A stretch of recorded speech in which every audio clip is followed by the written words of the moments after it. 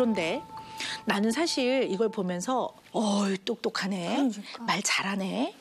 나는 그렇게 생각할 것 같습니다. 아이들이 나한테 와서 이렇게 물어봅니다. 우리 엄마가 나한테 말 대꾸한대요. 우리 엄마가 나한테 말 대답을 따박따박 한대요. 말 대답을. 그럼 저는 그래요. 말을 물어보면 대답을 해야 되는 거야. 말 대답. 안 하는 것보다는 말 대꾸를 하고 말 대답을 하는 게 백배 천 배 나은 거야. 화났을 때 엄마 화났어요. 이렇게 말할 수는 없잖아. 엄마 나 화났다고요. 얘는 지금 그렇게 하고 있는데 예준이는 그렇게 건드리는 말을 한 거 아닙니다. 말투. 얘는 숙제라고 나왔습니다. 그래도 가족 사이에 끼고 싶어서 보통 같으면 애들이 안 나와요. 얘는 그게 또 놀랐어. 가족 사이에 있고 싶어서 나왔어요. 몰랐어. 나와서 왜 이렇게 성질이야? 자기의 감정을 추스리려고 되게 노력하고 있어요. 제가 늘 말씀드리지만 아이나 어른이나 감정의 주인은 자기입니다. 자기가 조절해야 되는 게 맞습니다. 근데 잘 있는 애를 와서 건드려요, 엄마가. 얘 어머니 12살밖에 안 된 아이인데 음. 이 정도 말할 수 있습니다. 또 얘기해 봅시다.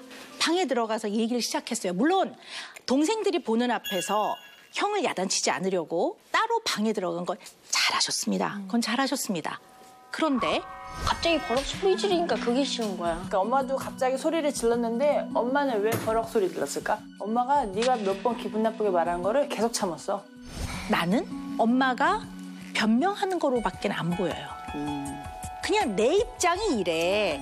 내 입장이. 그리고 아이한테 요구하는 거는 얘 엄마 이걸 요구하는 거예요. 그런데 엄마는 얘한테 요구하는 너 그러지 말라고 했잖아 하는 걸 본인은 하고 있어요. 버럭 소리를 지르고.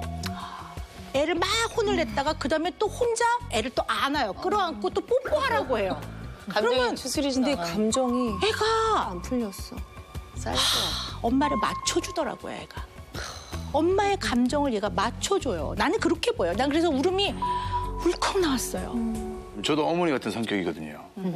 그래서 그러니까 제가 불편하다고 내 스스로 결정해 놓은 거를 애들은 모르잖아요. 네. 표현 안 네. 하면 모르죠. 예. 지금 이제 오 박사님 얘기 들으면서 막 제가 막 혼나는 것 같고 그렇죠. 어른 어 제가 제가 저도 그랬거든요. 아우 뜨끔하다 나도 오늘.